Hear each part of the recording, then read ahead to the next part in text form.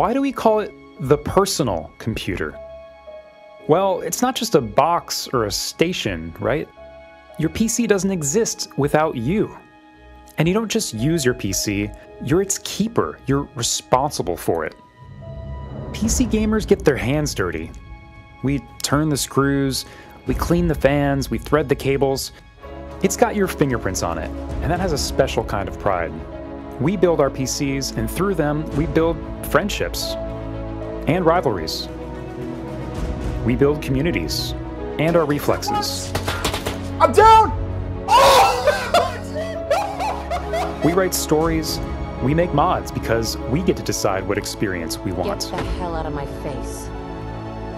God bless you, modders. PCs are scaffolding for our imaginations. That's what PC gaming means to us to build, and to give back to your hobby as much as it gives to you. This is the PC Gaming Show 2017.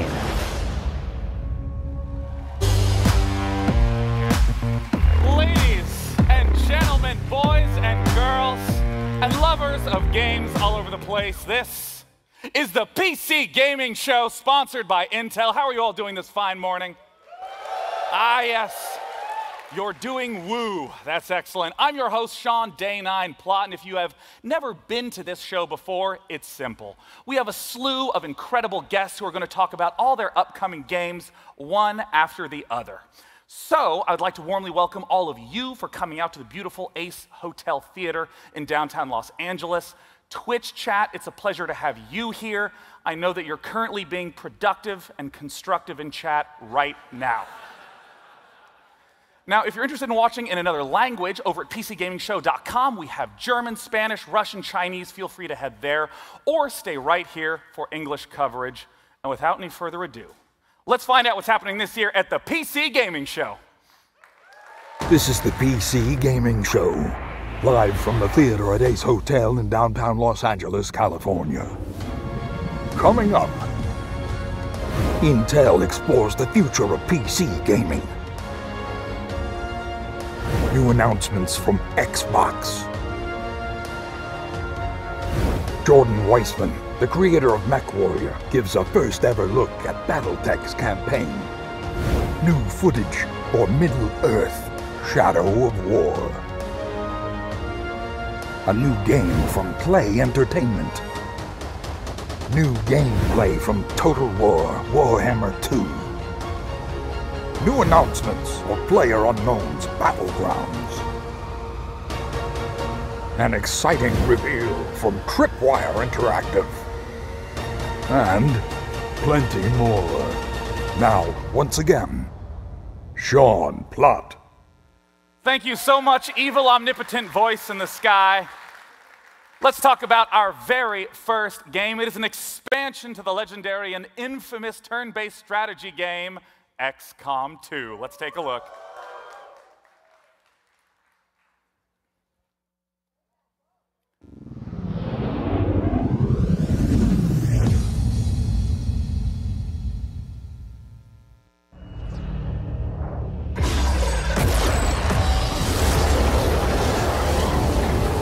You're not supposed to be here.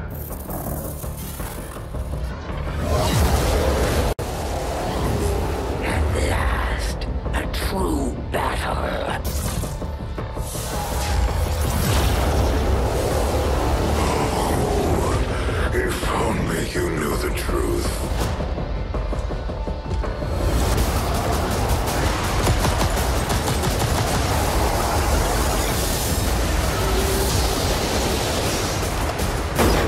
There were three resistance groups that we consider a legitimate threat to Advent. Together, they'd make one hell of a fighting force.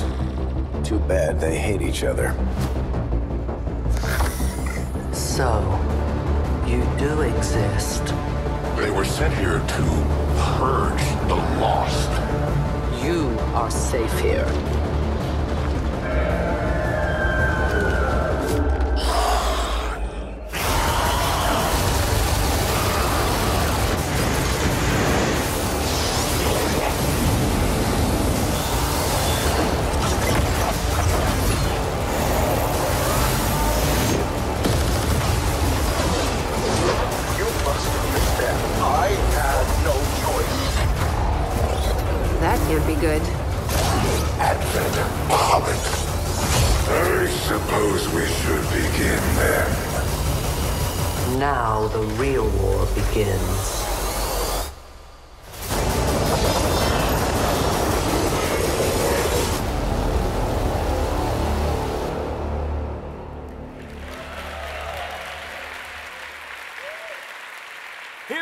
To talk about XCOM 2 War of the Chosen is the creative director of XCOM 2 over at Firaxis, Jake Solomon. Pleasure to have you here today. This is very exciting. We finally get to talk about this. So, yes, I'm very pumped. Thank you for having us. Well, then tell us, what is War of the Chosen all about? Well, so the goal with this game really was to make something massive. So, we added a ton of new enemies, lots of new soldier classes, new environments, story, strategy systems, just tons of new toys for players to engage with. And I understand that it's an expansion that's even larger than any of the ones you've done previously. Yeah, e- easily twice the size of the previous XCOM expansion. It is, it is massive. Well, let's go ahead and start talking about some of the content that's in there. Who Yeah. are the Chosen? The Chosen, right? You saw them, they starred in the trailer. So they were designed to be the ultimate enemies of XCOM. They are three almost uh, champions of the alien army. Um, and they have three very distinct personalities and three very distinct fighting styles. And the player is going to get to know those very well because over the course of a whole game, they're going to fight each of those chosen multiple times. And the chosen, just like the player, uh, they get stronger over the course of the game. They learn new skills, new abilities. They even gain new procedural strengths that the player is going to have to contend with. So, in a sense, it's not like a normal enemy where you might see a chosen in one battle and a chosen in the next. It will be the same chosen again and again and again, getting new strengths. That's right, that's right. And so you just, they, they always have something new up their sleeve because they're always learning sort of new tricks. Well, you mentioned the personalities of the different chosen. Yeah. Walk me through who the chosen are and what these strengths and weaknesses might be. Yeah, so for example, there's the assassin, and she, her personality is, is tied up in duty and honor. She feels very honor bound to serve her masters, her creators, and she does that, of course, by hunting down XCOM and, and killing soldiers, you know. A natural expression of identity. We're bringing back some familiar elements from earlier games, yes. Um, and so, uh, but combat wise, she's a mix of stealth and close quarters combat, so she can vanish from sight, and she uses that to get in close on the soldiers and use her blade. So, like the other chosen, she's very powerful and she has a, a sort of unique fighting style that the player hasn't seen before. And we've talked about this new obstacle in the form of the chosen. You know, mentioned the assassin. Who are the Right. other two? There's the hunter, that's more of a long range sniper. Yeah. Um, and then we have the warlock, which is, you know, a warlock. So, the- so yeah, Ed, Ed, doesn't he look like a warlock? So yeah, they, they all have very unique skill sets, and so it's fun to, to, to fight each of them. What about the new tools that players have in order to try to overcome this obstacle of the chosen? Yes, so as you saw in the trailer, um, XCOM is not the only resistance movement on Earth. So in, in War of the Chosen, you have these three factions out there, and like the Yeah. like the Chosen, they all have distinct philosophies and distinct uh, fighting styles. But for the player to get access to those, first they have to win those factions over. They have to I see. recruit them to the XCOM cause. But when you do, you have access to the three the most powerful soldiers we've ever created. So And we're taking a look at the Reaper right now. What's the that- gameplay of the that's Reaper? right, the Reapers. So they are sort of uh, stealth marksmen and saboteurs. Uh, then we have the skirmishers, which are actually defectors from the alien army. Oh, that makes sense with the art style. Yeah, Right, yeah. Look at those fingers. Yeah, so they're half alien uh, human hybrids, and they're sort of like single soldier wrecking crews. They're really powerful. And then we have the Templars, and they're the most mysterious of the factions. They are psionic wildlings, and they work a little differently because they build up power over multiple attacks that Yeah. they can then unleash uh, in more devastating abilities. So it's sort of like a mini resource management mechanic specifically for the Templar. It definitely is. There's trade offs there where as they gain focus, you either want to keep it because it makes them stronger or Mm-hmm. you can spend it on these really powerful abilities. Now, in the trailer, we got the chance to briefly look at the Lost. And though we didn't see them too Right. much, I wanted to get the chance for you to talk about them a little more now. Who are they? Right. So the Lost, th- this this comes out of the idea that the original alien invasion happened 20 Yeah. years ago, and in that invasion, the aliens destroyed some of the greatest cities of the world, and, and we've never been back. So in War of the Chosen, we go back, and what you find there are the Lost. Um, these handsome. I thought that everyone in the cities died, but apparently they're alive and well. They're yeah, doing fine. Yeah, as you can see, they've, they've weathered the last 20 years really well. So Um, yeah, these are heavily mutated humans, and, and a single lost is not going to pose much of a challenge. Sure. Um, but unfortunately, you don't fight single loss. They move in large swarms. And so when you go into the cities, Mm-hmm. these swarms are drawn to the sound of combat, and they never stop Ah. coming. And there is a silver lining, which is that the lost don't like aliens either. So, Oh, really? Okay. Yeah, so once the lost show up, then everybody's fighting for their lives. And I know that a big hallmark of the XCOM games is the sort of tactical maneuvers of the AI that, in the same way you're planning, it's planning Right. too. But the Lost behave quite differently. Yeah, they're mindless. So the idea is that you have this tactical combat going on against you versus the Advent, the aliens, and then all of a sudden this horde shows up and it, it throws everybody's plans out of whack. And then you can even have maps where they are chosen, lost, you're fighting the Advent at the same time, it makes for some very, very beautiful chaos. It's, it is definitely unlike any other XCOM uh, missions you've played. Well, Jake, you're the first guest out, so I'm going to ask you the big question. Okay. When do we get to play it? We get to play this. War of the Chosen comes out August 29th, so very Just two soon. months. That's right, very soon on PC, Xbox One, and PS4. So people should follow XCOM on Twitter and Facebook if they want to keep up with all the latest XCOM information.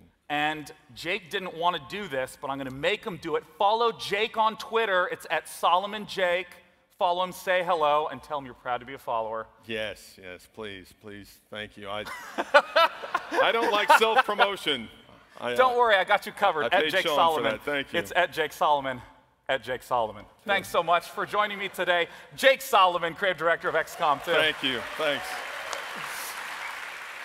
Now, as some of you may know, I am not the only host at this event. Joining me to do all sorts of announcement goodies is a woman named Sonia Reid, but you may know her a little better as OMG It's Firefox. How's it going, Sonia? Hi.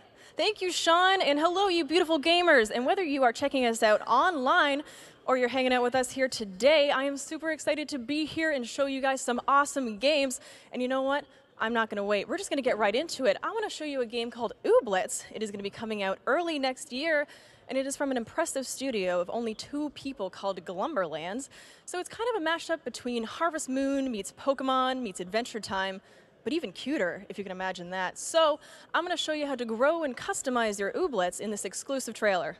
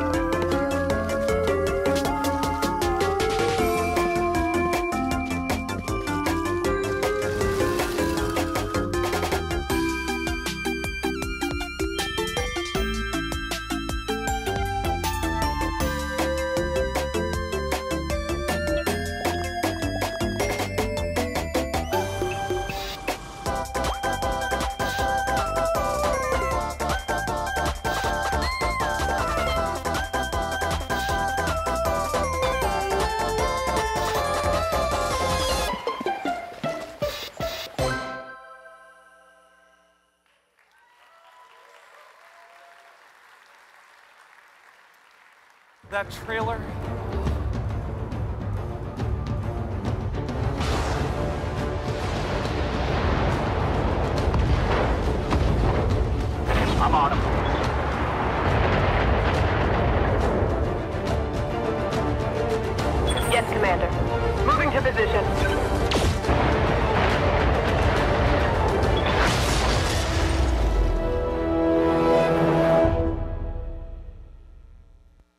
Ooblets trailer makes me oh so happy, and the previous one you just got the chance to see is the old school tabletop game Battletech, distilled into its purest form on PC.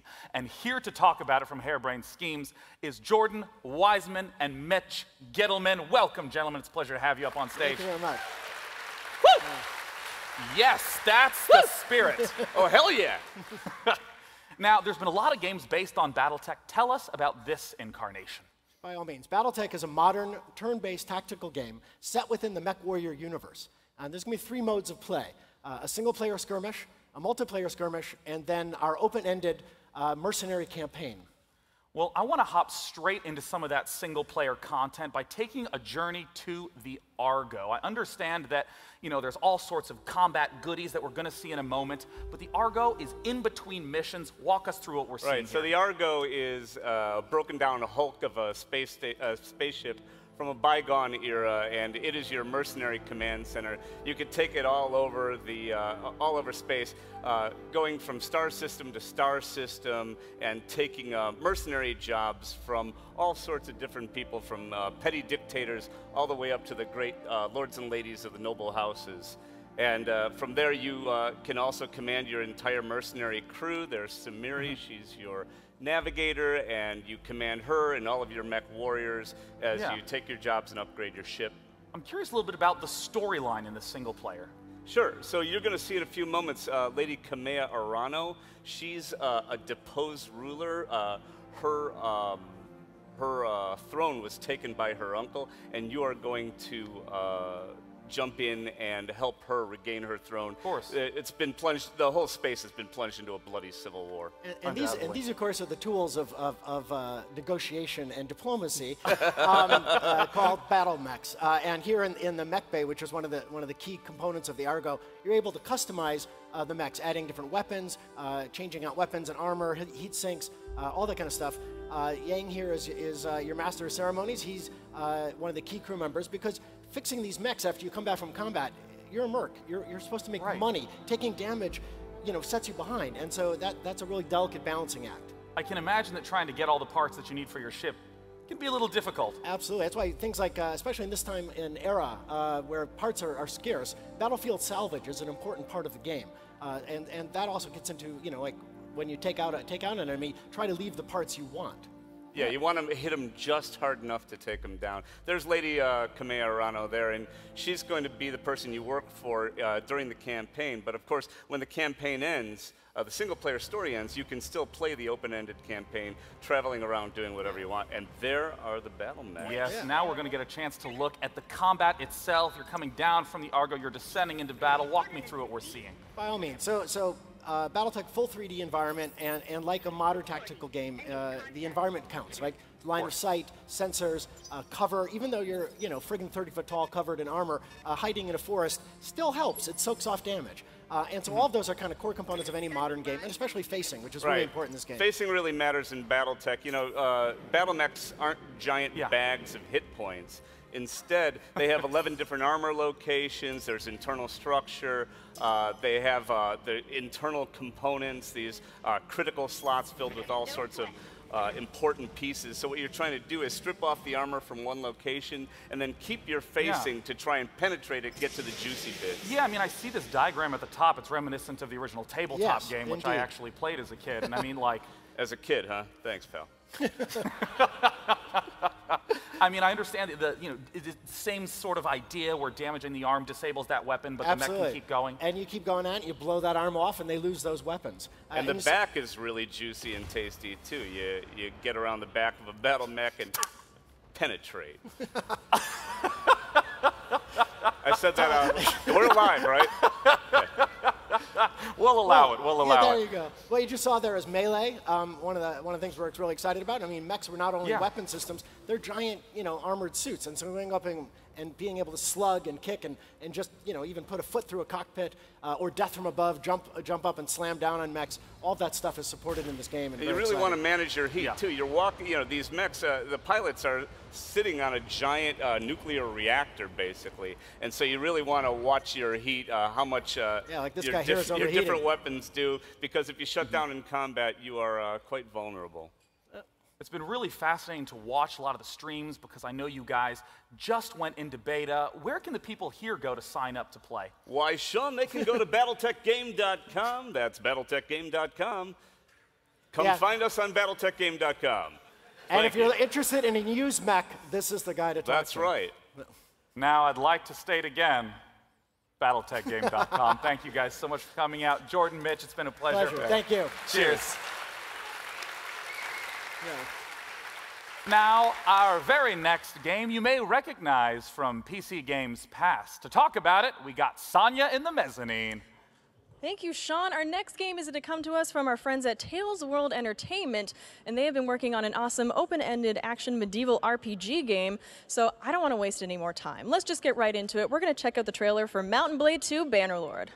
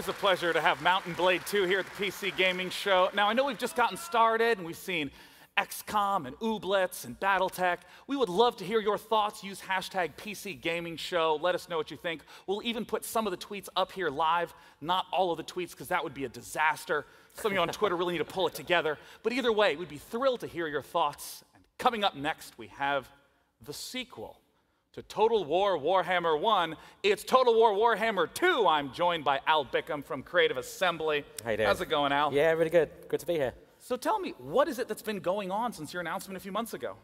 Quite a lot, really. I mean, this is the we're, we're working on the, the second game in our trilogy.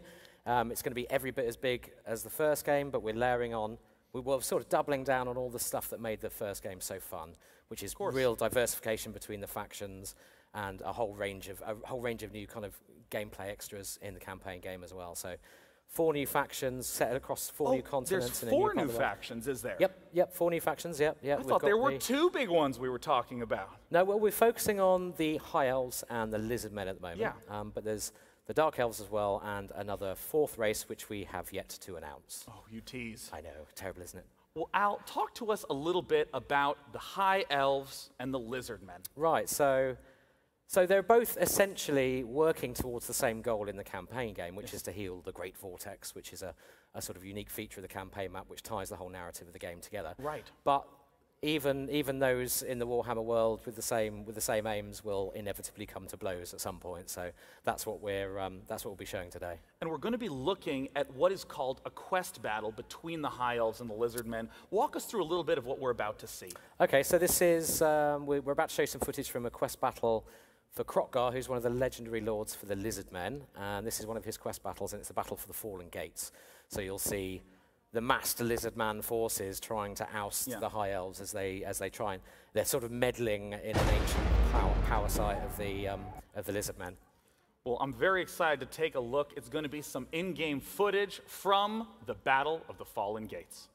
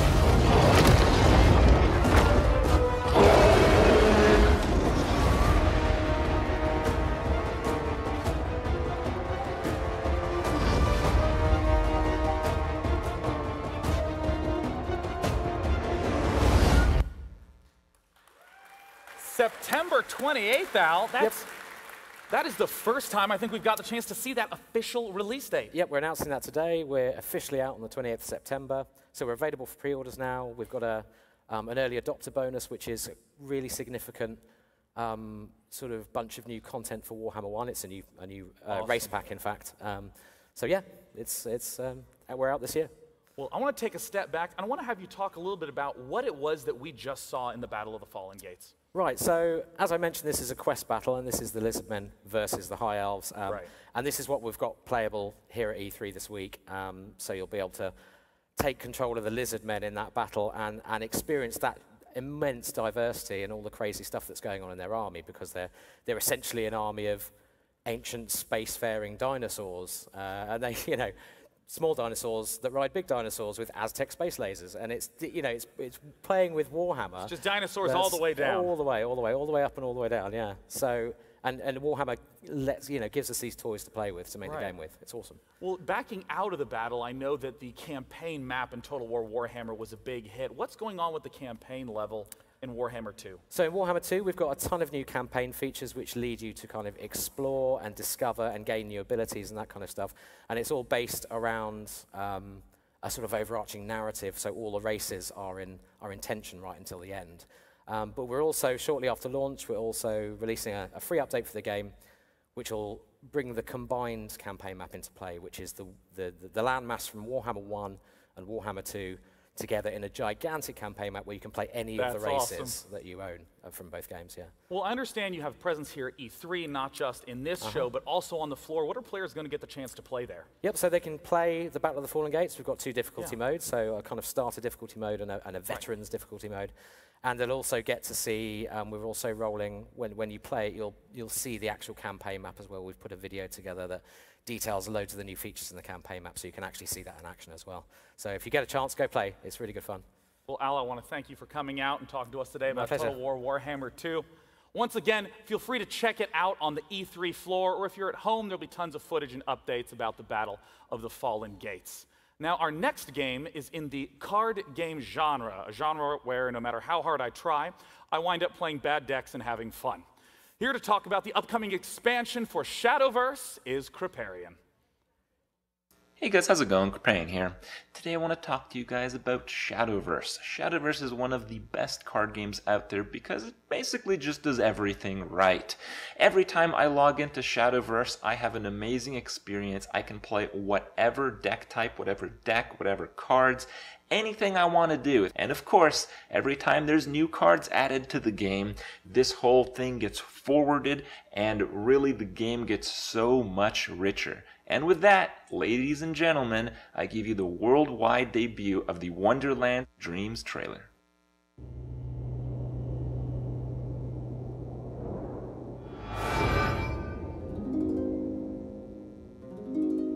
I have a book for thee, like no other. Each page a window to a long lost land, where fairy tales dovetail with myths, and wishes give birth to legends grand. Knights and dragons, or wistful love. Within this book, all ambitions bloom. But be warned, my fickle friend. A dark abyss awaits us all. For blood-pricked roses wishes be. But fear not to bite life's fruit. For in this land, courage is key. With bated breath, the door sweeps open. Glory-bound or purged in flame. The hand you choose defines your fate. So I ask you, is this really just a game?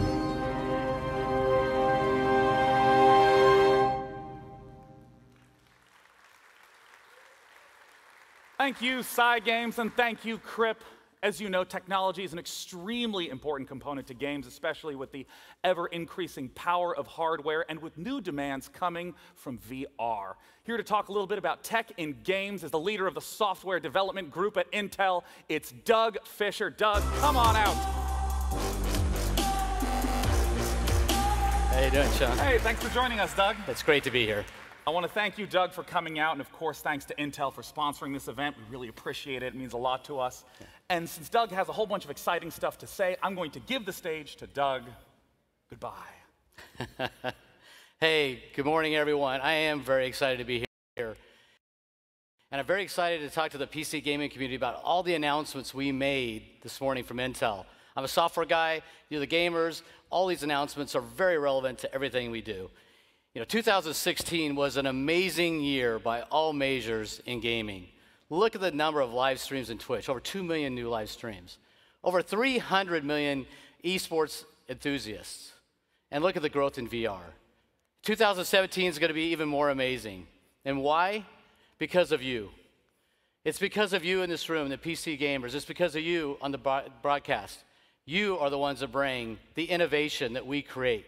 You drive us to innovate. You are on the edge of technology all the time with you. You have that instinct on what the new capabilities are that we need to deliver. And then you have this amazing, inclusive, and social environment young, old, male, female, tech, non tech, millions of people getting together, inspiring each other to immerse themselves in this environment. Now, it starts at Intel with amazing hardware technology. We've talked about the launch we had two weeks ago of our X series platforms. Now, you gaming enthusiasts will love the Core i7X overclocking capability. It's an amazing system. And you megataskers who want to game, create, stream will love the beast of them all, the Core i9 Extreme Edition, an amazing system for this environment. Now, as a software person, I love this environment. I love this hardware. Because why? It gives software people less time waiting, more time creating, creating that amazing content.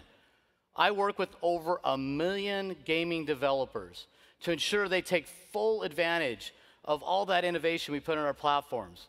Whether it's working on the caching algorithms or the high density graphics or multi-core, it doesn't matter, all the different areas, the best known methods. We ensure these millions of developers are making the most out of that platform, delivering the best content. Then we work to market that so that all the gamers out here, the billions of gamers, know the new compelling content that's available.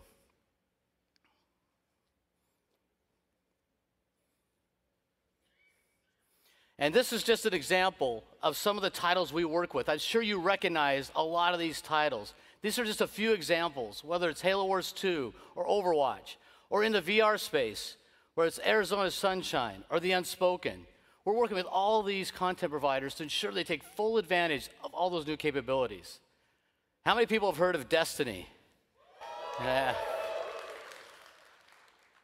I couldn't be more excited to tell you that we work with Bungie and Activision to bring Destiny 2 to the PC.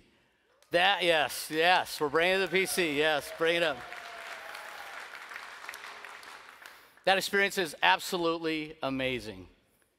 And I can't think of a better person to talk about how amazing that experience is than the full time live Twitch streamer and YouTube broadcaster. Welcome on stage, Tefty Teft. Hey, Tefty. Hey, Doug. How you doing? Good. Great to see you. Thank you. I'm honored to be here. So you really do live, eat, breathe, sleep, dream Destiny. I do. I play a lot of Destiny. I've got thousands of hours, uh, hundreds of raids completions. I, I, have built my community around Destiny on Twitch, and uh, I'm a co-host for, uh, one of the founding co-hosts of Destiny Community Podcast, one of the biggest podcasts specifically for Destiny. So I, I know a lot about Destiny and I play a lot of it. That's great. And so when you play it, have you experienced it on the PC yet? I have, yeah. I got to play it at the event. I got to say, the, the PC experience is amazing. As, uh, as somebody who's played a lot of hours in Destiny, everybody knows how is it going to transfer? How's the, the experience going to go from console to, to PC? Are they going to actually be able to deliver? And I can say 100%, 100% sure that the PC experience is incredible. When I got to play it, I was blown away. I popped Dawnblade, used a mouse and keyboard, and rain and fire from above. It was amazing. You guys, if you're a fan of Destiny, you're going to love Destiny 2. That's awesome. Yeah. So is anybody else here going to be able to participate and play with this? Oh yeah, absolutely. It's going to be on the it's, uh, it's going to be on the show floor. The other thing too is they've got tons of PC support as well that's being added to it. So 4K is going to be beautiful looking. It's got 21:9 ratio, uncapped frame rates. I mean, for me personally, I'm going to be looking at pushing 144 or higher for FPS because oh, it's going to be so nice. And yes, absolutely. On top of that, uh, Bungie has told me something specific that is exciting for the, uh, the high CPU core count chips. They are optimizing the engine so it will take advantage of all the cores in your CPU. So if you do have an i9 Extreme, which, hey, you know, maybe maybe hook me up. if you have an i9 Extreme, it, it will be able to take advantage of all those cores. That is, uh, that's great. As an enthusiast, PC enthusiast myself, I'm very excited about that potential for Destiny 2. I can't wait to run it out maxed with as many frames as possible. Well, fantastic. You guys all have a chance to take a look at it. Maybe you and I can uh, play later today. That'd be great. All yeah, right. It's, it's going to be on the uh, E3 show floor. So Fantastic. Yeah. Thank you very much. Thank Shefty. you. Appreciate All it, right. Doug. Big hand.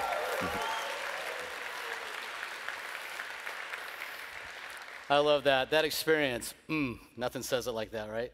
All right. So it's not just about the top eight list titles, but also it's about the broad set of developers we participate with. The independent developers. You can see examples of properties that they've developed. We want to make sure everybody's developing and creating content on the PC to create more and more opportunity to participate in that. We're inspiring these developers through a contest called Level Up.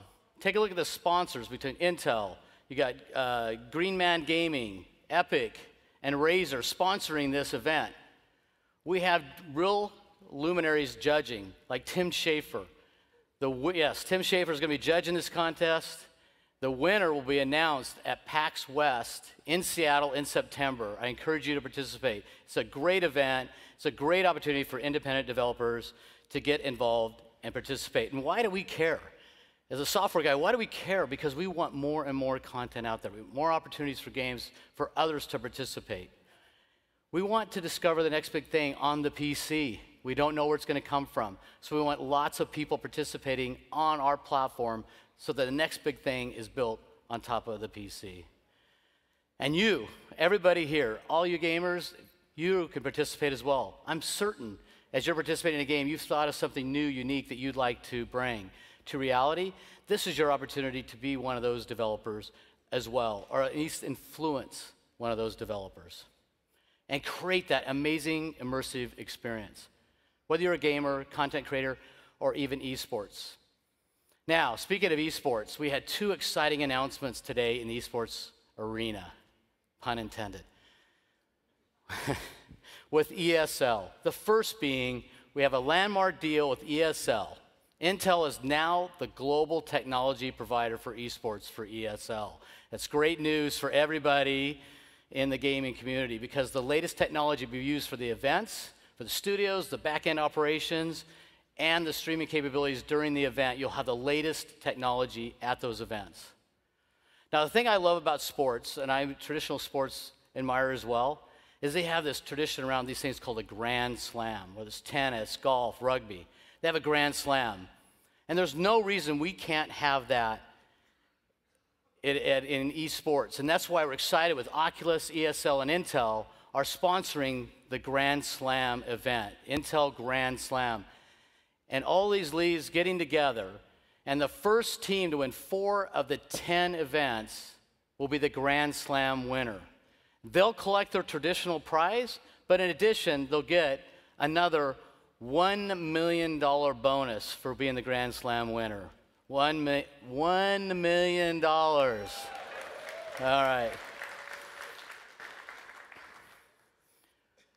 I was so excited about the announcement today around Echo Arena. They've taken this property and now are making it VR multiplayer. Do you guys see that announcement today? It's so great.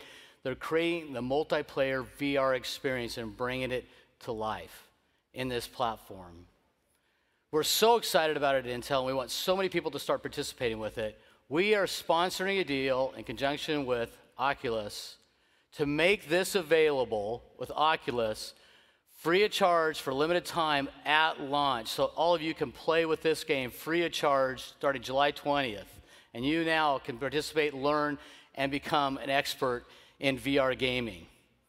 Now, I know when you become an expert, what do you want to do?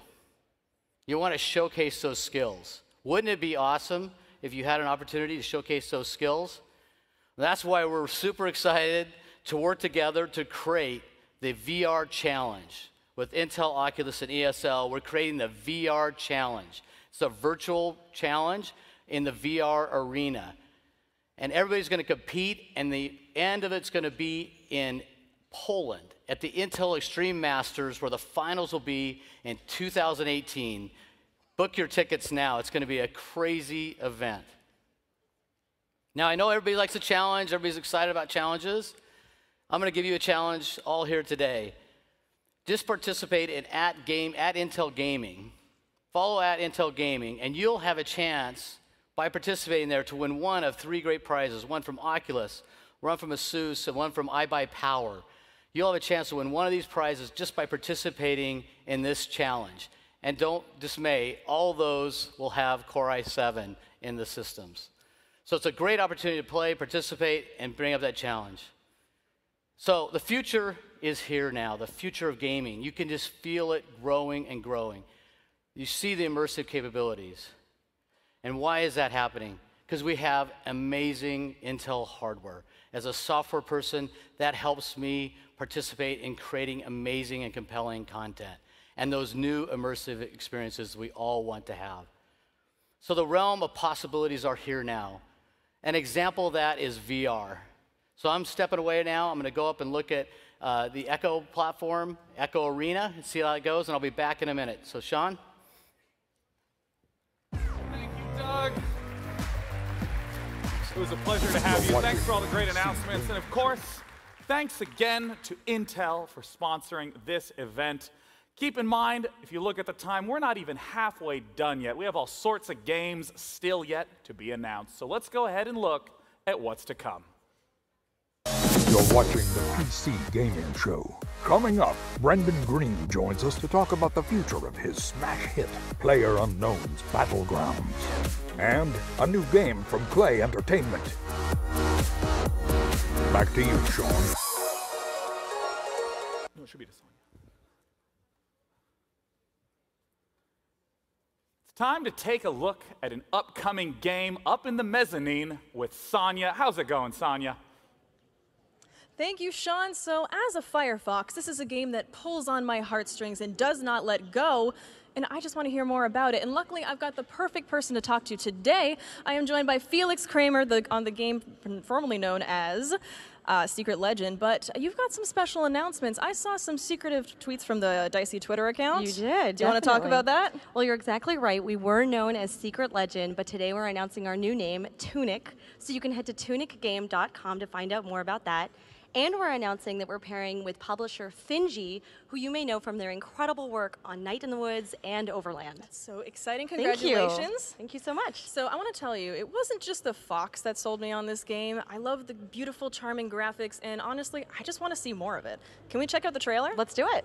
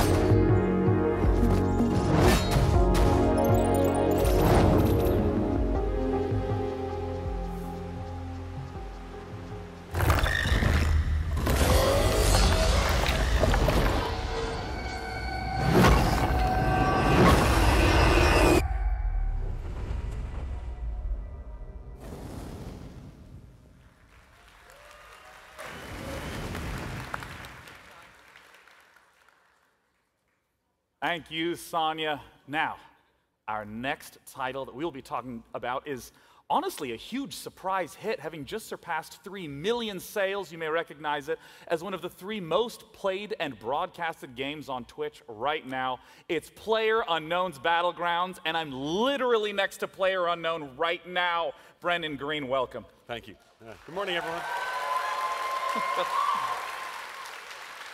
yeah. Thank you.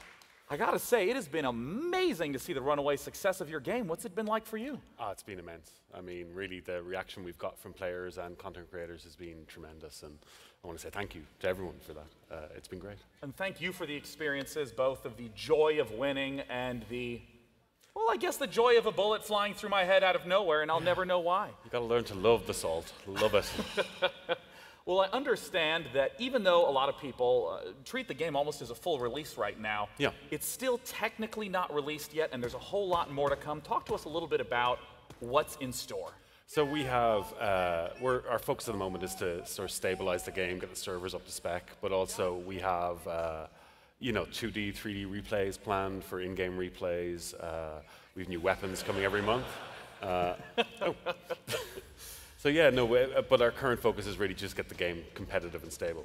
So suddenly fences are no longer the most impossible object in the game. You can right? climb over them. Yeah, now. yeah. So our content program programmer Marek, he's done a really great job getting this system to be dynamic. So it doesn't matter what object you're in front of, you'll jump Oh, or vault over it. Yeah, so in terms of jumping and vaulting, is it?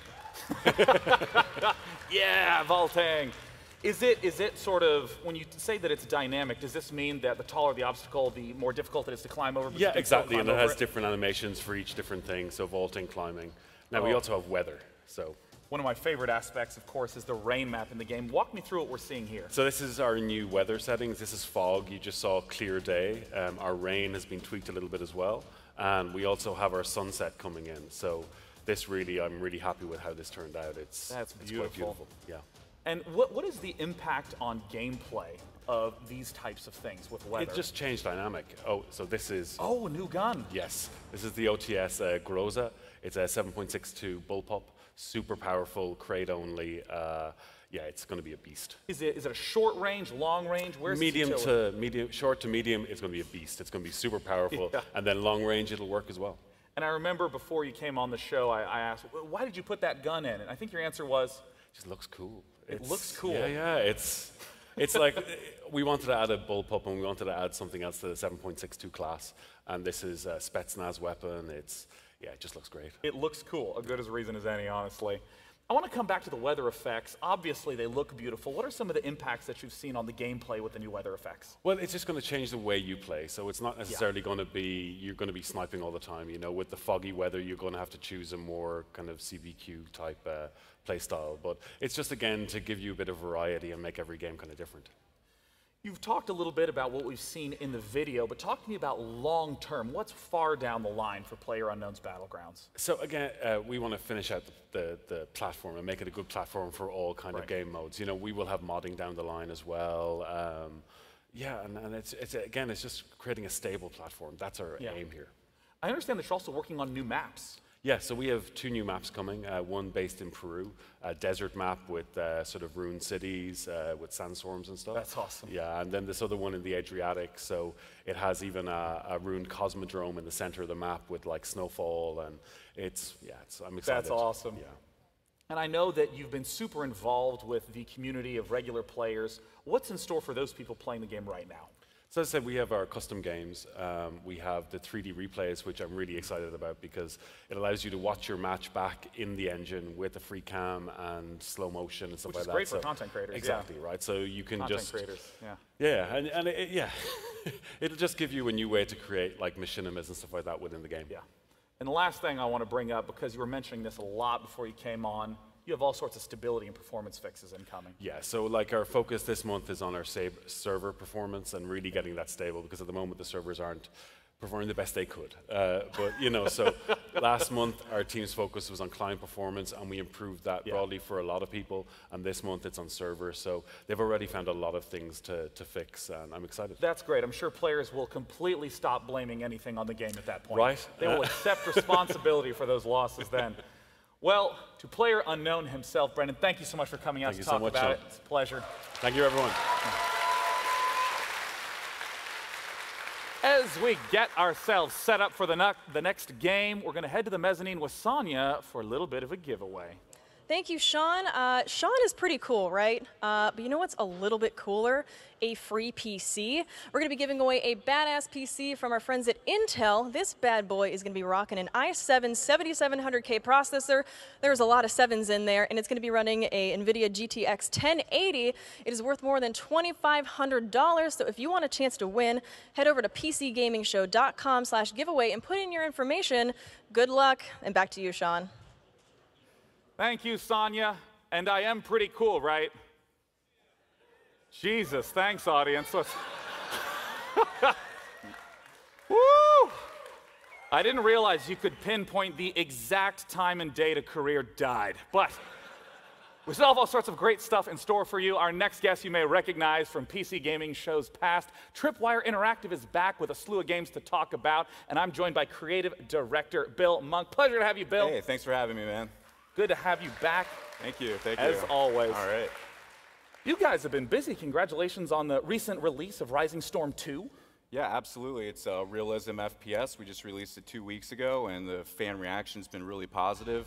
Really happy about that. And we want to thank everyone who was part of the beta phases that helped shape the game in a real positive way. And uh, be sure to check out the Trello boards, see what we're up to. And we're actually uh, already really busy working on some new content. So stay tuned. That's amazing. I mean, I know so many people know you from Killing Floor 2, but especially this year, there's so much to talk about. I mean, Yep. last year you announced Killing Floor, Incursion, the VR Killing Floor. How's that been going?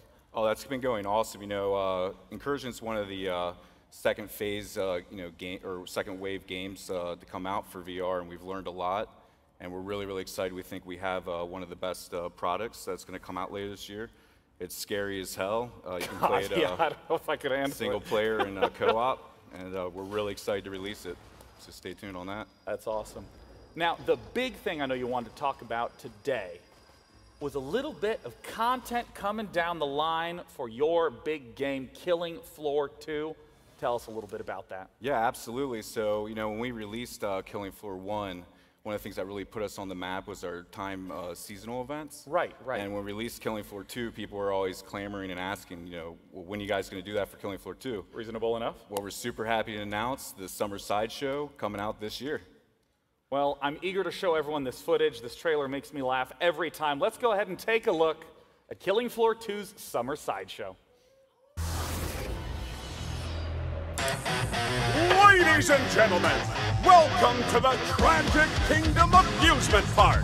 Come on down and play Find Mini Pukey, Feed the Pound, Dunk the Bloat, and Pop the What? Was that a real head? Trade for festive clown makeup, colorful hats, and dozens of other items. Carnival rewards are only available for a limited time. See the adorable pinhead and marvel at the mighty strong pound.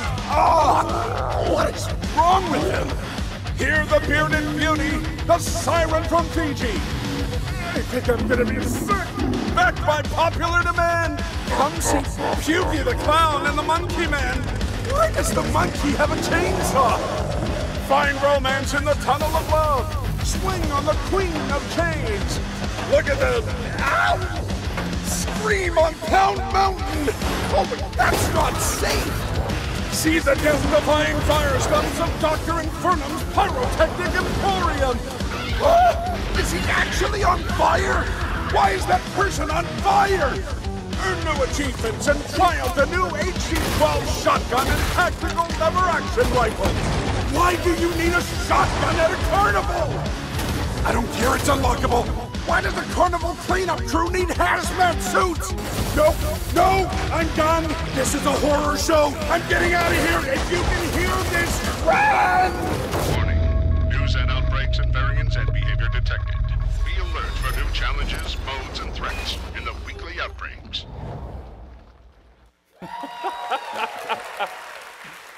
I mean, I know it's a horror theme, but there's some great humor in this. Oh yeah, I mean, seasonal events are definitely the most fun to work on. I mean, it's Yeah. just we can just go crazy and go goofy. You know, we got clowns. You got the monkey that bangs the cymbal with a monkey with chainsaw instead. chainsaws, midgets on stilts, bearded ladies. You know, we got it all. Tell me a little bit about what is the gameplay? What's some of the stuff that people can experience in the summer sideshow? So it's a limited time event. It's only going Right. to last for one month. Uh, so all this crazy stuff you're seeing here, it's one month. Uh, and there's uh, over 50 cosmetic items that people can gain from playing it totally free. Uh, all the Zeds have been replaced. All the voices have been redone. Uh, we also have uh, mini games that are, you know, thrown out throughout the Yeah, I saw the carnival games right at the start of the trailer. Yep. We've also got two new weapons that we're introducing. And uh, we also have this other mode that we're really excited about. It's the weekly outbreak. Yeah, I saw the weekly outbreak at the end of the trailer. What's the weekly outbreak about? So uh, each week, uh, new gameplay mode comes out with Uh-huh. new challenges for the player. Uh, we have one. It's starting out with uh, Cranium Cracker, and that's a headshot only mode. And so then no damage unless it's headshot. Yeah, exactly. And then we have another one called Tiny Terror, where every time you shoot a Zed, they actually shrink. They become like little like midget Zeds, which is really crazy. And whenever the players get hit, they shrink too. Oh, really? So I mean, that's just two of them. We have eight total, and it's over two months worth of uh, content. And if they're really hard to beat, but if you beat it, you get really cool like precious items and stuff like that. So of course I have to ask, when can people play it? Uh, actually, you can play it tomorrow, and it's uh, free on Steam all week. Easy. Yep. so you got no excuse not to try it. Well, I mean, what if people are here at E3? Oh, well, they can, yeah, they can play here too. Oh boy, that Yeah, was tomorrow. a setup on my part. Right. Yeah, where whereabouts is it at on the E3 floor? Uh, that's at the PC Gamer Show. Oh, that's Booth, right. It's at yep. the PC Gaming Show booth. We have our own booth here at E3. Yes. Oh, I'm glad that two of you are Yep. very excited to hear that.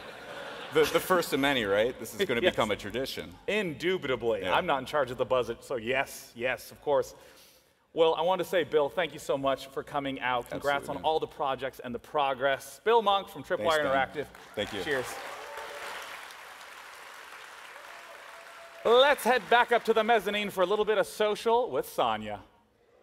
This year's PC Gaming Show is being broadcast on more platforms than ever before. We are on Steam, we are on Facebook and Twitch and Mixer. We are all over the place. This is awesome. And guys, if you're on Mixer, you gotta sweet talk the to sweet talk the mods a little bit. Be kind of nice to them because they're gonna be giving away games throughout the entire show. Unfortunately, no free games for day nine. Uh, but uh, sorry. Back to you, Sean. I'll happily buy them. Yay, video games! Now, if any of you got the chance to see the conferences leading up to today, there's a lot of exciting stuff going on. In particular, Microsoft has had a whole slew of games people are pumped for, including some that are going to be at this show, starting with the first ever incarnation of Forza Motorsport coming straight to PC.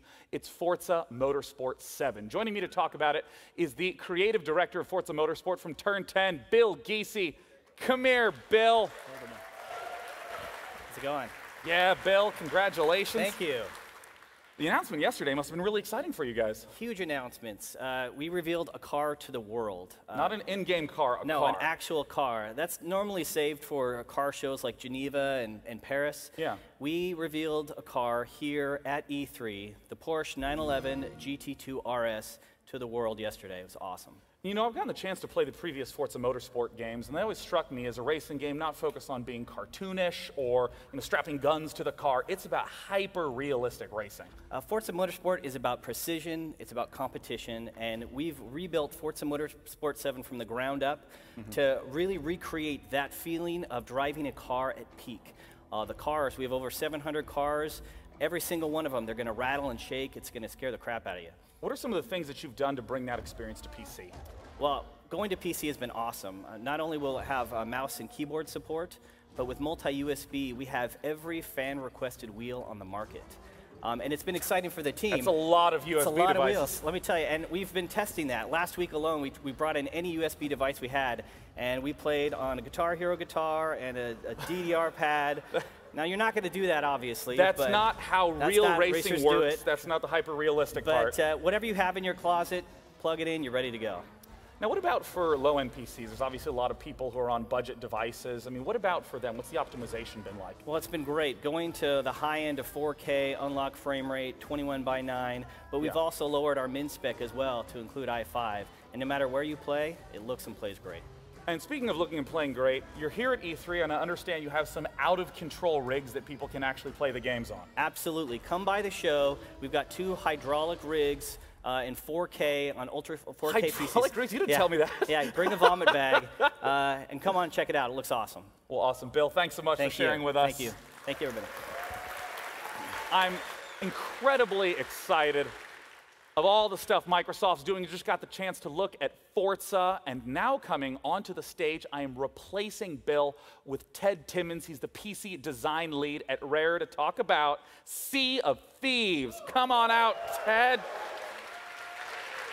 Hey, Shell. Ted Timmons. Thanks for having me. Welcome. It's a pleasure. So, Ted, talk to me a little bit about what is Sea of Thieves. Yeah, so we feel like we've made the pirate game you've always wanted. When you think about sailing around the open seas, you and your crew of, uh, of crewmates, uh, basically it's Pirates of the Caribbean meet- meets the Goonies. What are some of the things that you're showcasing here at E3 in the game? Yeah, so for anyone who didn't see the briefing yesterday, uh, we showed off great new features like riddle map storms and firing yourself out of cannons. a common pirate pastime. Yeah, pretty known. Now, I had to ask the same question to Forza Motorsport. What are some of the things, some of the features that you've added in to focus on the PC experience? Yeah, so we've got things like 4K, unlocked frame rates, or everything you expect, but we've also brought our gameplay footage in 21 by 9 as well, my personal favorite. Your, oh, your favorite resolution, Yeah, like yeah, yeah. One of the top three favorite resolutions Yeah, it's of probably yours? there with 32 by 9 and 16 by 9 as well, probably. So, tell me a little bit more about the PC version. Obviously, it's probably a challenge to try to develop for two different devices at once. Yeah, so we decided to change our approach to the game. We're actually building both versions in parallel because we felt that's how we deliver the same game on the same day. So it's not a port from one device to the other. Correct, yeah. We, we felt it was really important just to build them together from, from the very beginning. one single code path. One single code path, yeah. Awesome. Well, I know a whole lot of people here are curious to get their chance to play it. Is there an official release date or an opportunity for them to play it? Yeah, so we're coming to both platforms in early 2018, but right mm-hmm. now we have a technical alpha. You're welcome to come sign up. We have thousands of PC players playing already. So yeah, come join us, seaofthieves.com. Once again, Ted Timmons. Awesome, thank you very much. Rare, thank you. Cheers, guys.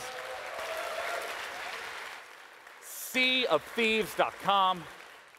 Now, this next title is one I'm personally very, very excited about, given the fact that when I took one look at the trailer, the striking visual style just grabbed me. It's an evolution of cyberpunk, a game called The Last Night. Here to talk about it is the creative director at Odd Tales. Join me in welcoming Tim Soret. Hello, Pleasure, Tim. Hello. Welcome. Pleasure for me. Thanks for coming out. Let's ask the obvious question What is The Last Night? The Last Night is what we call a cinematic platformer, which means it's not a game like Mario where you have to jump from platform to platform, Yeah. but you know, it's more story-driven. It's more reminiscent of old classics like Another World, Flashback, or Oddworld even. Oddworld, I was going to say, reminded me quite a bit about it. And I saw that you guys had the big announcement reveal at Microsoft yesterday. I mean, that trailer was such a hit, it blew up. What was that like for you guys? Yeah, we are obviously super happy with the trailer reception. It's been absolutely incredible. Um, now, of course, I have some concerns I want to address. Um, you know, I am embarrassed by some tweets I made in the past. Um, I want to apologize for those. Uh, they do not in any way represent who I am today or what the last night will be about. Well, let's talk about what the game is about. I know that the setting of The Last Night is super important to the character of the game. Tell me, where are we right now? I want you to imagine a world where machines are surpassing us in every possible way, you know? Right. So not only physically, but also intellectually, emotionally, even creatively. So, in a sense, like any job that you could possibly imagine, an AI does better. Absolutely. yeah. Including being a host for a PC gaming show. Including that. Well, I imagine, thank you, this one person who is also excited about the booth. Now, um, in terms of this world, this must give a kind of sense of existential crisis to all the inhabitants. Yeah, um, like the way I can. Like, what is yeah. it like to be a person in this world? So, you know, in a world where you're not valuable anymore in production, Yeah. um, the only thing you can really do is to consume endlessly, right? Right. So, what we're trying to, to, to see with this game is how do you define yourself, you know, when you don't have anything to create or to strive for. Yeah, and I can see, you know, obviously there's the futuristic lighting and the visuals, but there's also that sort of drab, dreary tone. This art style is amazing. I mean, all of these assets are in 2D, but it has so many modern effects. How did you even think of this?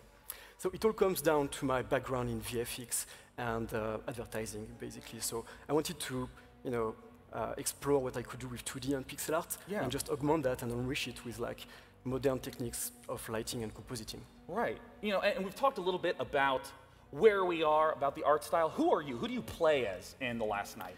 Yeah, so the character you get to play is a young uh, idealist, I would say. Yeah. And because of a childhood accident, he cannot enjoy the same gamified, augmented life than everybody else. Right. So uh, because of that, you know, he wants to change the world. And on You want to have like an impact and a meaning. Ah, absolutely. So on his way to do that, he's going to meet some questionable, questionable characters you have to trust or not on your way. What about the gameplay? What are the things that, if I'm the player, what do I do in The Last Night? So we took inspiration from some classic genre like point and click and adventure games. Yeah. But so you get um, you know to solve puzzles and uh, dialogues, of course. But we added a real-time component to it. Real time in, in, what sort of sense? What makes it a real time puzzle?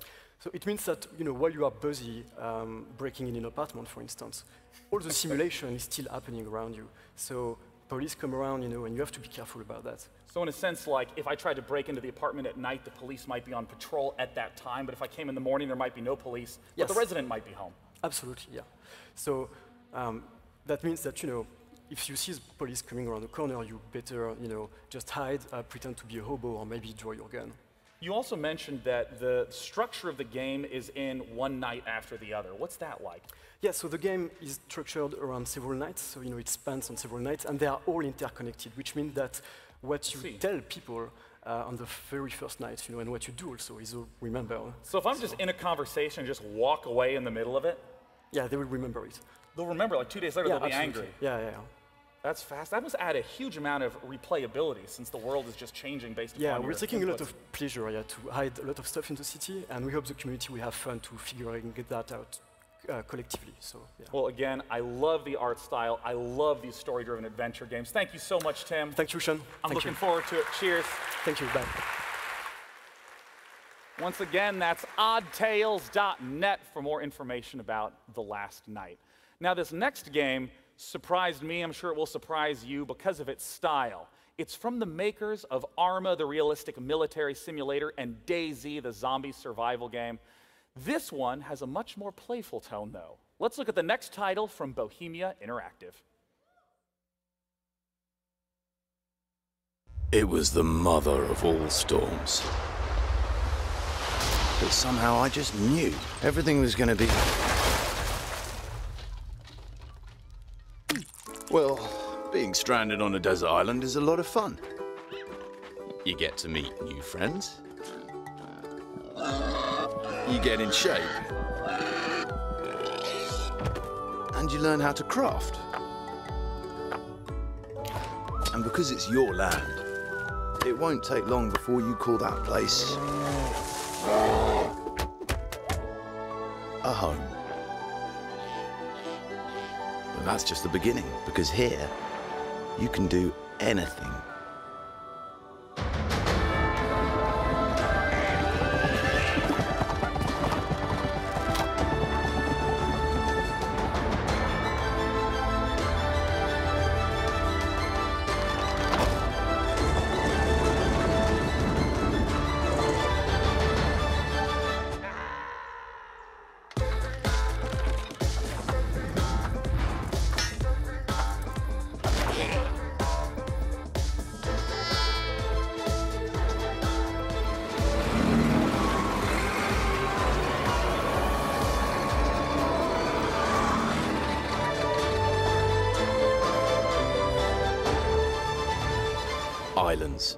Explore your creativity.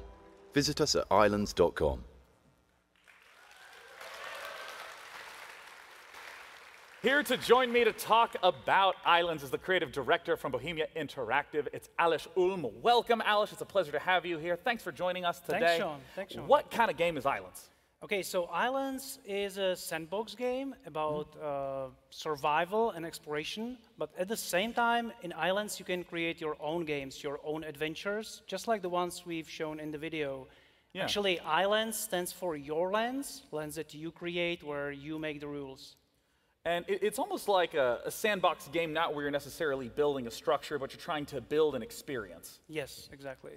And I have to ask, given the fact that the style of it contrasts so sharply with Arma and DayZ, what is it about Ylands that still makes it a Bohemia game? Yeah, we, we get uh, this a lot, but actually, beneath the surface, there are still the core values that make up a Bohemia game. Yeah. It's still about exploration and finding out how things work, about creativity and imagination. And just like Arma or DayZ, we're trying to create a platform to connect players with each other Yeah. when they play online or when they create something new and share it with uh, the community. And I know that modding is a legendary part of Yes. Bohemia's history. What are some of the lessons that you've learned from Arma, learned from DayZ, and brought to modding in Ylands? Well, we have our own editor. It's, it's not a standalone application, it's a part of the game. Oh, really? I mean, I'd assume that it was just outside No, like no, all no. other editors. Now, we, we would like players to be uh, able to uh, prototype their creations really quickly. Yeah. And so in the editor, the players can obviously create something new, but they can also decide to uh, open and modify existing games, ones that we created or ones that uh, other players made for them. Yeah, I mean, we got the chance to see some scenarios in the initial trailer. Like, those are the ones that you're referring to. Uh, yep. That is fantastic. I mean, tell me a little bit about what it is that we're seeing right here on screen.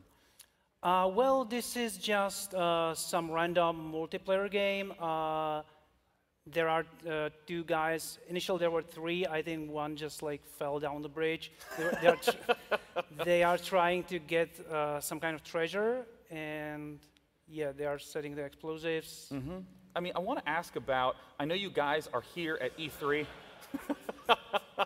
hey, look, it's the treasure. I know you guys are here at E3. What are some of the things that players can get their hands on at this event? Well, we'll be showing uh, some of the games that we created with the Ylands game editor, uh, but at the same time, we'll be showing how they can uh, use the editor to create those games. That's awesome. And I mean, I, I know there's a way for people to play right now. Is that right? Yeah, actually, they can already play the alpha version of the game. It's available as a part of our Bohemia Incubator program. Mhm. Uh, they can find more information on our website, ylands.com. And later this year, we are coming to Steam Early Access. That's awesome. And remember, that's ylands.com with a Y. We're good. You can remember that. So I want to say, Alish, thank you so much for coming out to Thanks talk about having us. Ylands. It's been a pleasure. And of course,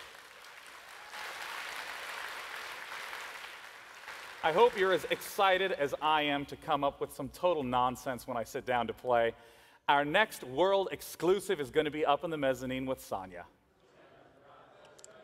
Thank you, Sean. I am so honored to be a part of this world exclusive reveal from developers Klei. You might recognize, you might recognize their name from games like Don't Starve or Don't Starve Together for lonely folk like myself. And last year at the PC Gaming Show, they actually revealed their sci fi colony sim game, Oxygen Not Included. And this year, they are back. And they are back with a bang. And I am so excited to reveal their upcoming sci fi RPG game.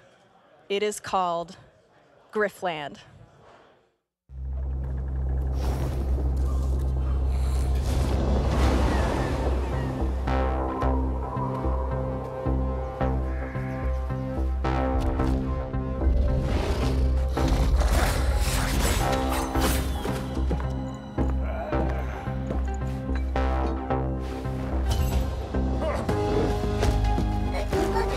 Ta certo,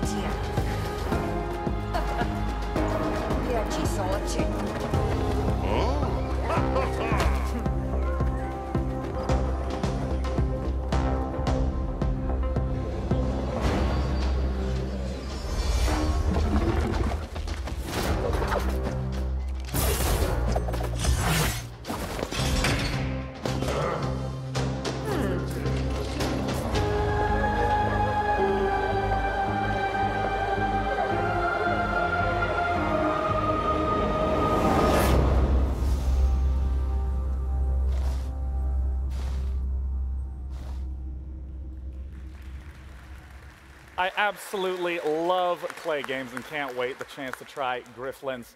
Now, this next title is an interesting one because I'm not someone who plays many VR games, but I got a chance to check this one out several months ago and I was immediately hooked. So I can't wait to talk about it with the creative director from Ready at Dawn. It's Ru Weerasuriya to talk about Lone Echo. Welcome, Sean. Ru. Thank you It's for good to having me. have you here.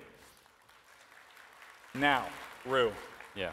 I've gotten the chance to play Lone Echo, but a lot of people here maybe haven't seen it or heard of it. Just walk us through what is the game. So the game, uh, the Lone Echo, is a single ex uh, player experience in VR where you play a cybernetic AI on the on a mining station in the rings of Saturn, and basically in the game uh, you're allowed to move basically, uh, you know, in uh, in zero G freely. You can interact with everything inside the, the environment, and also you'll see that uh, you have an NPC that you can you know interact Yeah. with. You can use your hands basically to go everywhere you need to go. This was the thing that was so amazing for me. You stand still, and then you use your arms to grab onto objects in the environment, to push and pull yourself around. And it was really amazing to move that way. I've never seen this before. Exactly. I mean, that's basically where the genesis of the project was. We built the mechanic to build the game. So the mechanic was this idea that came from watching, I, uh, you know, ISS uh, uh, space station astronauts, you know, Yeah, yeah. moving around, and we just basically made uh, this, th- this motion that allows you to to navigate using your Yeah. hands just like you would use your legs. So it's been a few months since I got the chance to play. What's been happening in terms of the single player? Here you got some fancy new voice actors lined up. Yeah, we did actually. Uh, when we wrote the story for it, uh, we, uh, we act- actually had an actor in mind, uh, somebody that Mm-hmm. uh, a lot of people out there know, Troy Baker, and Troy decided to take on the role for That's the, for the awesome. AI. And of course, another thing that we get the chance to talk about is the multiplayer component to Lone Echo called Echo Arena Ru. How does this game work? Uh, basically, it's a, it's a futuristic VR sport where you play, well, 10 people play in two different teams to get a disc inside each other's goals.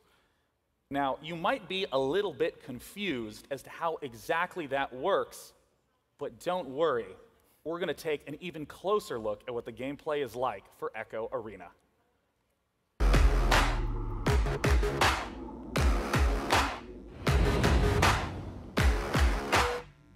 In zero gravity, players fly faster. Passes go farther. Strikes hit harder. Stakes get higher. And victory tastes sweeter. This is Zero G in the Echo Arena.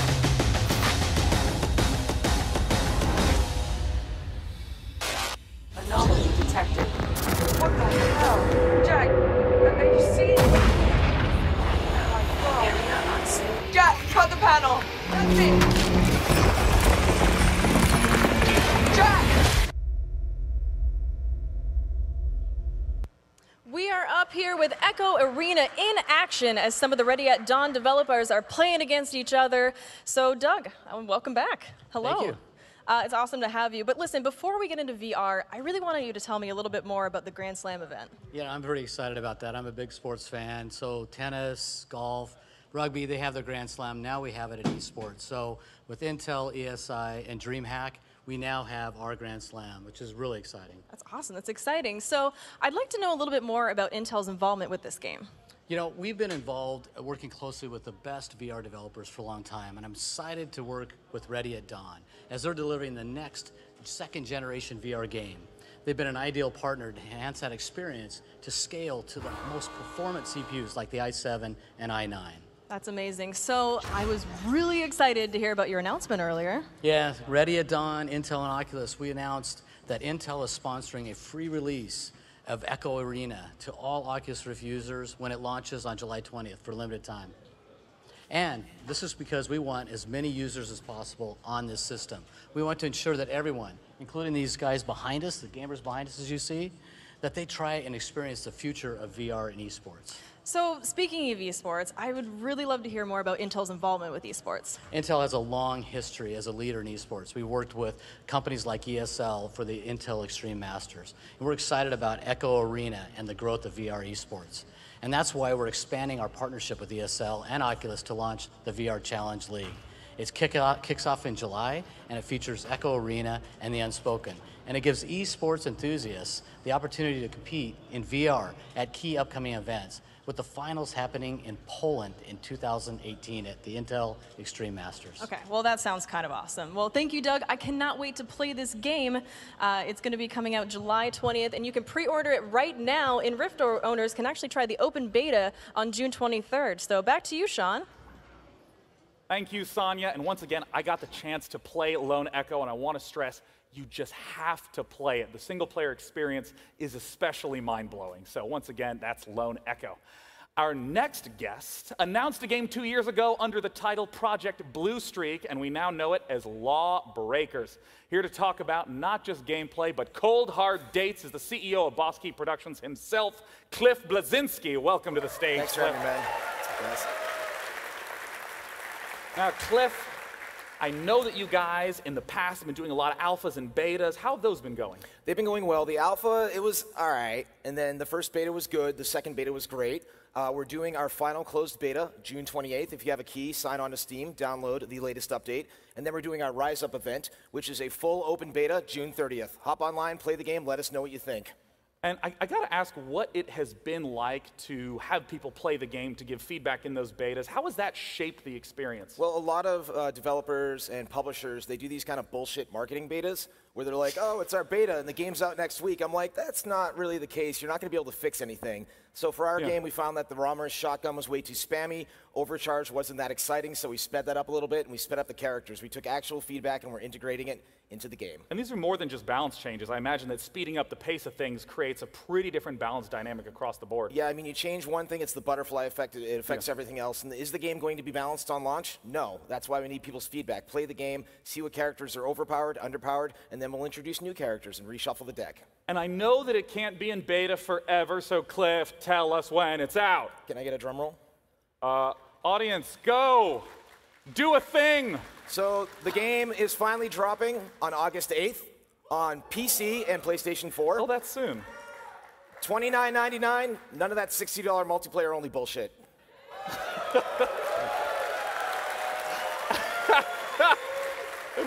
And if you didn't see it online, Cliff took a bow. Yes, twenty-nine ninety-nine. curtsy. Well, if you haven't gotten the chance to see the game and follow it throughout the recent PC gaming shows, let's take a look at some people who got the opportunity to play Lawbreakers, and we'll have them speak for themselves. Oh, the speed of this game is intense. Thousand decisions a minute. This is hardcore PvP. Your instincts take over. It's primal. It's exhilarating. Full frontal fury, a million miles an hour. Literally from every angle. I was shaking after the matches ended. It was like a high. One of the fastest games that I've ever played. Are you ready for another one? I'm like, "Ah, I just need a minute, man. I'm shaking. I'm shaking over here.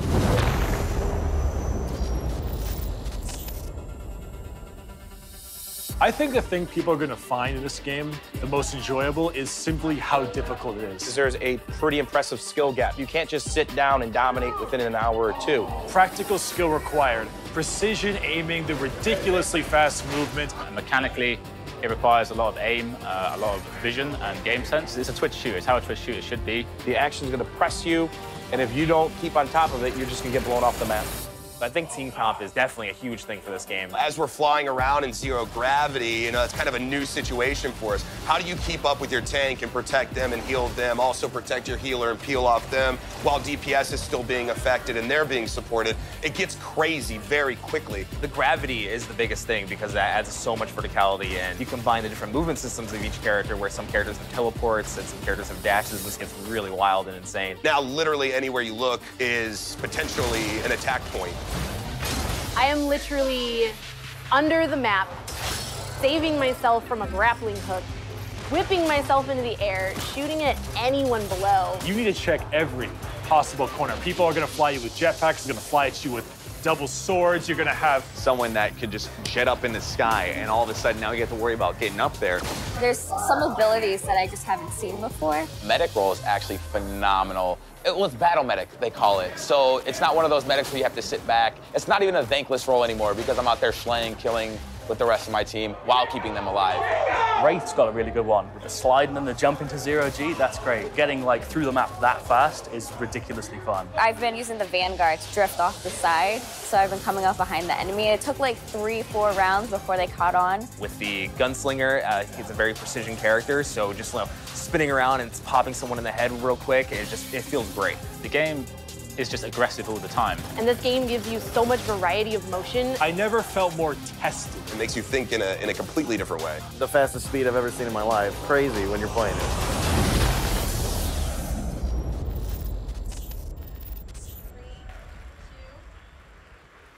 Just as a reminder, that Ballin Intel PC is still up for grabs. Don't miss out if you forgot. This bad boy is running an i7 7700K processors, a lot of sevens in there, uh, and an NVIDIA GTX 1080. It's worth more than $2,500. You do not want to miss out. Head over to PCGamingShow.com slash giveaway and put in your information. I think it could run Crysis at max settings. Uh, what do you think, Sean? I think it can, Sonia, and I also think that it can run our next title. I am a master of transition. Our next game is from Chucklefish, the wonderful folks who helped bring you Stardew Valley and Starbound. Let's take a look at their upcoming game, Wargroove.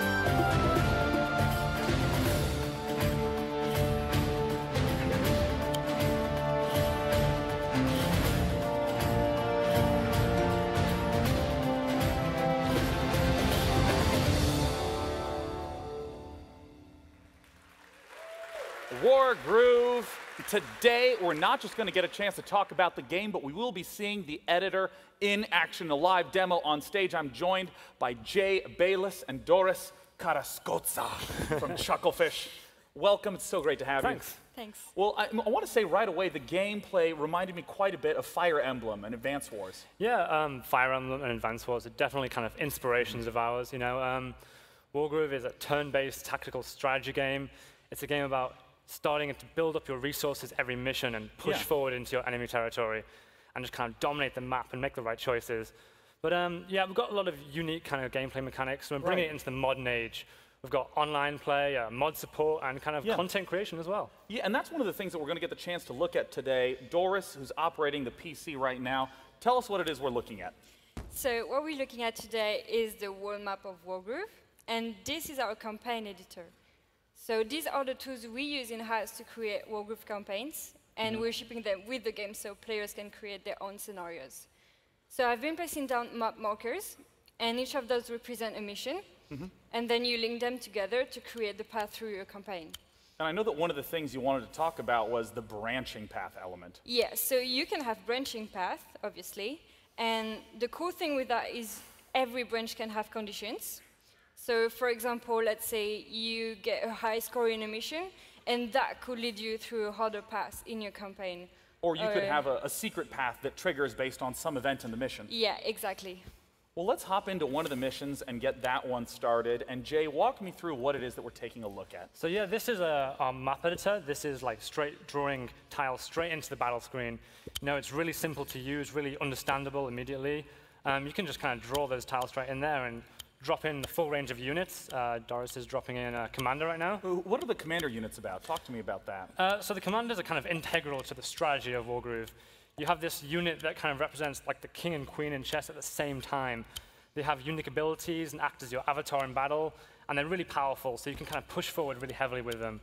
But there's a lot of risk reward in there as well, because if you actually lose that unit, then you actually lose the game. Oh, that's what you mean by the king comparison. It's- it's, both yeah. your power unit and the queen, but your loss condition is the king. Yeah, and um, other tools include you can drop down buildings right now. Uh, we've dropped in some HQs. Those are kind of like your base of operations, and to take the opponent's HQ is to win the match. Yeah. But um, on top of like kind of simple and easy to use tools, we've also got more advanced tools. Um, so you can use this zone tool right here, and you can highlight an area and assign like a scripted encounter or sequence to that. Okay, so, you know, if I step into that forest, someone can pop out and attack me. Yeah, you could have bandits jump out and attack you from the woods. And the really cool thing about that is that that actually ties back into the campaign map we saw earlier. So maybe that will trigger a condition. Maybe Yeah. after encountering those bandits, your story takes a different turn and you decide to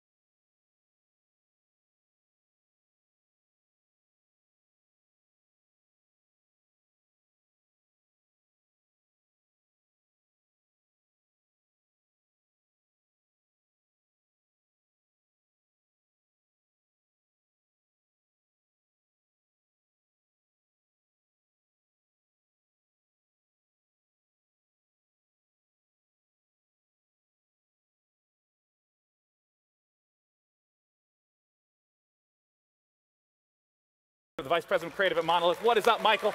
Hey, thank you very much. Thanks for the chair. Hell yeah. Well, I, the chair is a nice break from all mm. that grueling standing. Yeah. And it gives us to do one of the most iconic things in PC gaming this posture. Hmm, I'm there. Thank you. Now, you, we've heard about the October 10th release date. Mm-hmm. What are some of the things that have been changing and building upon uh, Shadow of Mordor in terms of Shadow of War? I think what we've tried really hard to do, although it's, it seems pretty obvious, is take the things that were good that worked in the first game, so Yeah. our combat and the Nemesis system and this world that we'd created, um, and to build on that, but also to take the lessons we learned in the first game and really improve those. So right. really make this into a truly epic fantasy that's uh, kind of up there with if you go and see Return of the King or Lord of the Rings, and really focusing on the story and the characters as well. I mean, you've been talking all throughout about how important story is in Shadow of War. What does that mean in terms of the work that you're doing? It means um, paying off the epic scale, so having these titanic full scale battles. It means the stakes of the story, so we're facing the most iconic and powerful villains, you know, Sauron and the Witch King and the Nazgul. And it means having these incredibly memorable and personal characters, so Right. allies and enemies that you're working with. And in terms of E3, what are the types of things that you're showcasing here that people can see? Oh, the reason we're really excited for E3 is two things people being able to get their hands on the game and play it. Um, and also that we're going to be giving demos of the game, but because of the Nemesis system, every single demo we give, we have no idea what's going to happen. That's awesome. We don't know which orcs or which characters are going to turn up, which stories are going to happen. So every single time people go and see the demo, they're going to see something new, and so are we. Um, and because of that, we really wanted to share that not just at E3, but for anyone who wants to tune in and watch those demos oh, as well. yeah. Yeah, and of course, you see all the information for how to watch those online throughout the entire duration of E3.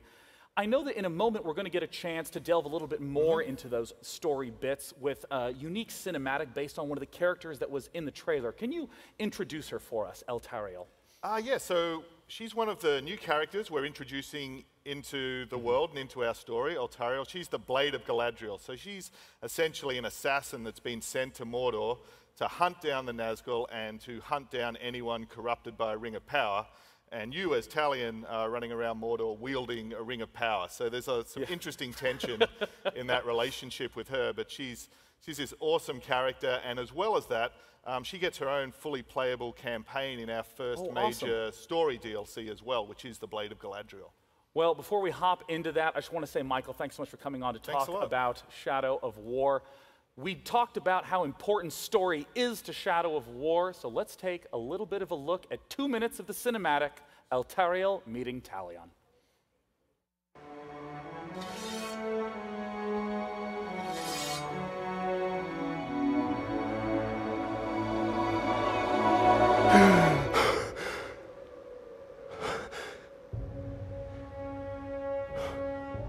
So it is true.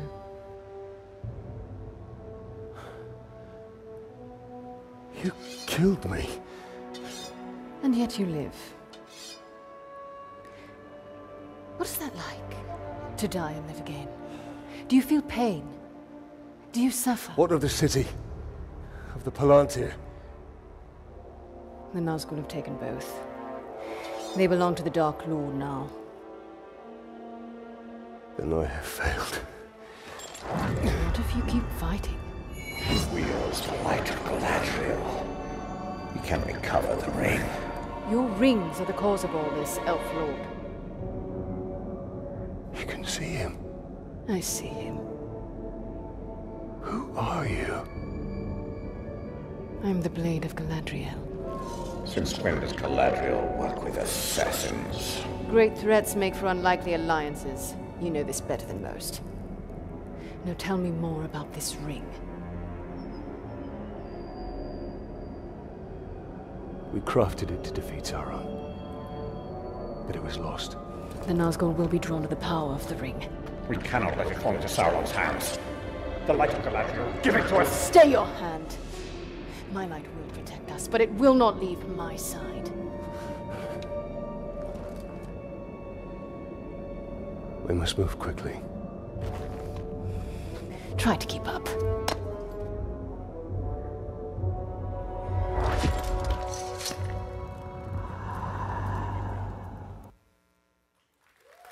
Shadow of War. As a huge fan of Shadow of Mordor, I'm really excited to see where the story goes in the sequel. And I'm pleased to say we have one final game to announce. It's from Microsoft, and I'm not even allowed to say the name yet.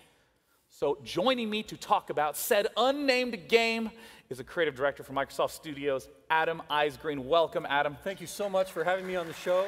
Love being Pleasure. here. Now, Adam, I understand that you've been in games for a long time. I have. Um, I am coming up on my 25th year making video games. So, yes, you can actually make a career out of being in games.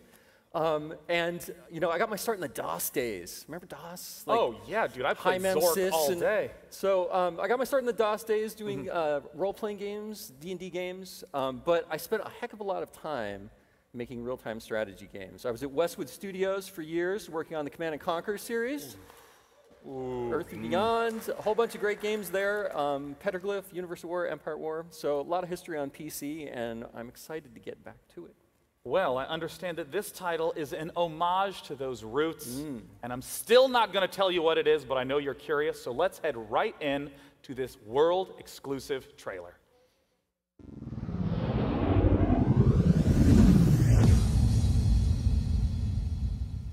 Oh.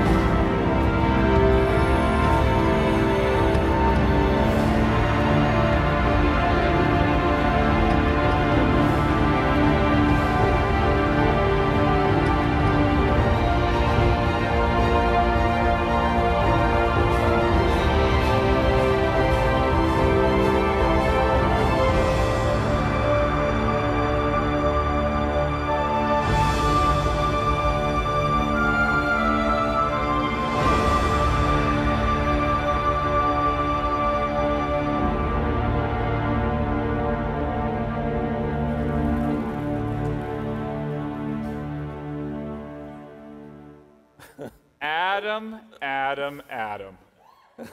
Age of Empires was the first game I ever saved up my allowance to play as a kid. I'd, Oh I'd my weed my grandma's garden all day. She'd give me like two dollars. Here's the latest in Luke. loot. Tell me about Age of Empires, man. Man, you know, nobody has been able to play this game except if they found the CD-ROMs for the last 20 years. And what's a CD-ROM? I know, really. These day and age, like, who even has a drive?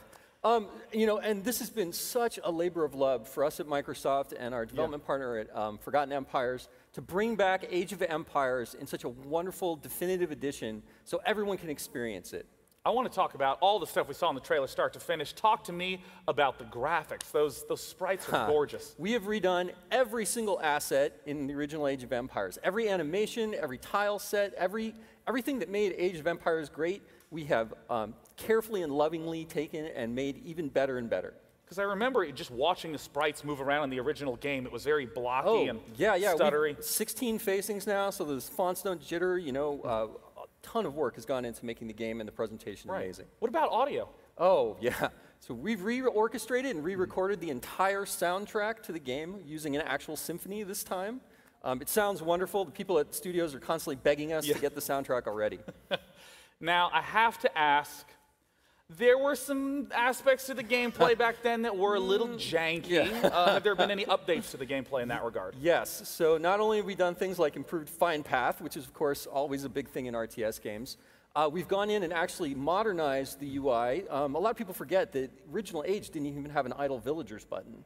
So all of that stuff, attack move, all of those things that have, uh, people have come to expect. Control groups? Yes. Control Yes, groups. 1A. Um, yep. So all of that stuff is all in the game now. So we've taken all of the learnings from the, Yeah. the Age games that followed and brought it up to those standards. And you know, in, in- speaking of modernization, I saw that it said Xbox Live multiplayer, Mhm. which, uh, as you may or may not know, that is the online matchmaking service that Microsoft uses for PC games. I mean, uh, how are you utilizing that? Oh, well, we've completely redone how lobbies work and how games and matching works. You know, we have our friend Uh-huh. system, of course, it's built into Xbox Live. So players should have a really amazing experience. We also have a web portal so they can go and track progress and see their results against all the other players. So it should be a really wonderful experience to play. And what about the beta that we saw at the end of that video? Yes, so um, the game will be out later this year, but you can go right now to ageofempires.com and sign up for our multiplayer beta. Um, you know, RTS games are really, you know, our multiplayer is so important. And we want to make sure that this definitive edition of Age is the absolute best we can make it. Right. So, you know, multiplayer, please come sign, play with us, make the game great. You asked me before we hopped on that you wanted to say one more special bit, a little bit of a tease. We understand that it's the 20th anniversary of Age of Yes. Empires. What is it you wanted to say? So, yes, uh, Age of Empires, the whole franchise will be 20, it's hitting its 20 mark October of this year. Um, you know, and this is the start here at E3 with you, is the start of the celebration of 20 years of Age of Empires. And that party is going to roll. We're going to continue that. So you're going to hear from us again in Cologne, Germany at Gamescom in August. And uh, we're going to be having a really wonderful Age of Empires event there and talking a whole bunch about, I think, stuff you're going to want to hear. I think I'm going to want to hear it. Yes. You tease. Well, what let me I just do. say, Adam, thank you so Thank you much so for much for coming having out. me on. Super you, excited about Age of Empires. And with that, our slew of announcements comes to an end. Before we depart, let's head back up to the mezzanine with Sonia for one last hello. Thank you, Sean. I had an amazing time being a part of some awesome game reveals and kicking it with you guys today. If you want any more information on any of the games that you saw today, go to PCGamer.com. If you want to hang out with me and check me out on the internet at OMG It's Firefox, pretty much everywhere. I had a blast, and for one last time, back to you, Sean.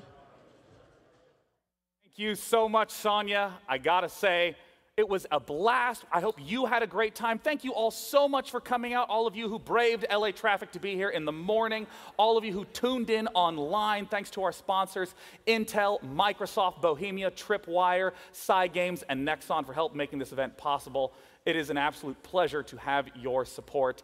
And I'd also like to give a shout out to all the developers and the publishers at their recent conferences that have been going on in the last week. We were super excited about the titles there and following them closely because we're gamers at heart, and we hope that you too enjoyed what we had to share with you today. And as crazy as it sounds, E3 starts tomorrow. So we hope that you get the chance to get your hands on some of the titles that were announced in the last week that you're pumped for. From all the folks at PC Gamer and from me, day nine, have a wonderful day and go play some video games. We'll see you next year.